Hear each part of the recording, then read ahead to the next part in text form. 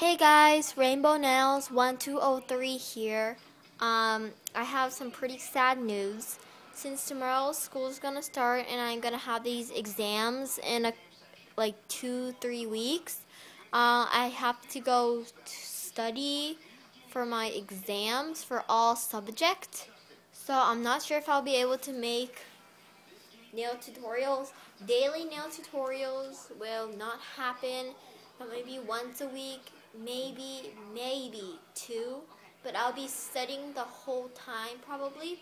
So if you don't have um, see any tutorials being updated, um, this is why. Blame the exams. Um, after the exams, I will have a couple of tutorials.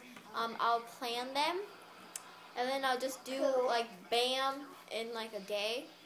So I'm really sorry for this sad news but I really need to study for my exams so I get good grades. Um, thanks for watching all my videos. Just keep company with all my videos, and I'll make some soon. Bye, guys!